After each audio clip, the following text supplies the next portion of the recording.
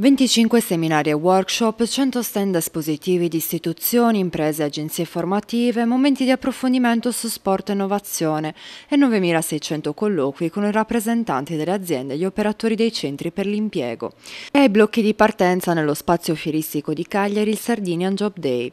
Le due giornate di orientamento in programma il 24 e il 25 gennaio prevedono inoltre alcuni ospiti del mondo dello sport.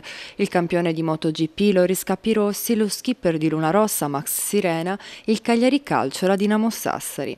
Ricca l'offerta di seminari e workshop e variegata la platea dei destinatari, da chi necessita degli strumenti di base e competenze trasversali per la ricerca di un'occupazione, a chi vuole migliorare la propria occupabilità, fino agli studenti delle scuole superiori e delle università per una panoramica delle professioni emergenti nel mercato. Per lavorare all'estero sono in programma incontri tenuti da esperti EURES, che daranno informazioni e consigli a chi è interessato a fare un'esperienza professionale in Europa.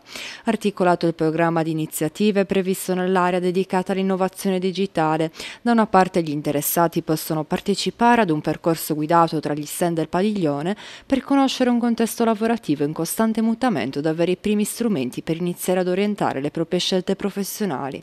Dall'altra è in programma Festac, una maratona di cervelli lunga sei ore per trovare una soluzione brillante al problema posto in vari ambiti da aziende che lavorano sul territorio territorio sardo.